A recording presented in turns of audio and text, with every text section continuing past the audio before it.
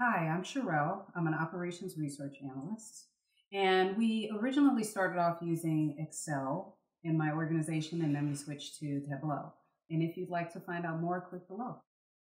In my organization, Excel is used heavily by the analysts because we see it as more of a data analysis tool, whereas Tableau is more so utilized uh, by the not so tech savvy people, more like the business or the managers in our organization.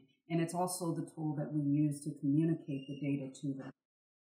Tableau is best for highlighting the hotspots in your data. Well, what Tableau does is whether it's using color, size, or dimension, it definitely uh, points out those pieces of data that are going to be a major impact to your business operations.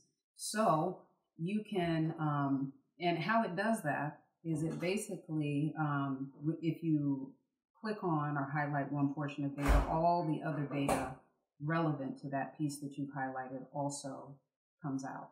So it's all interconnected. It tells a story and it makes it easier to communicate that story as well to others.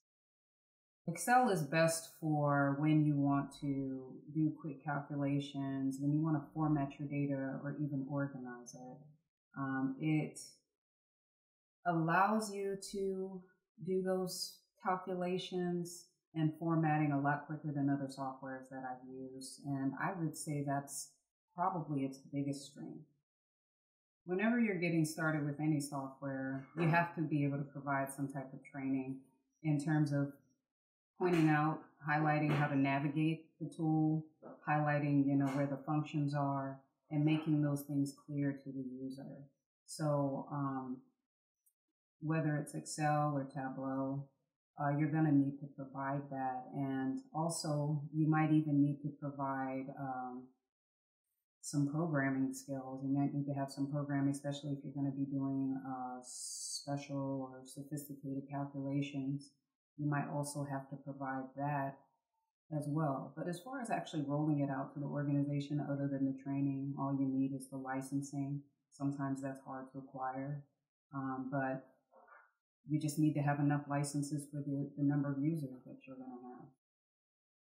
The top consideration when considering any software is, of course, the user that it's targeting, whether they're a technical, non-technical person. Um, that has to be taken into consideration because if it's too technical, they might need training. Um, but if not, then it's an easy rollout, um, right? So besides cost as well, so cost is something that we consider. Um, you know, if it's obviously if it's going to eat into a budget, then we cannot, um, and it's going to affect other operations that we we have to have to sustain, and we we don't consider it as well. Has to be budget friendly, I guess.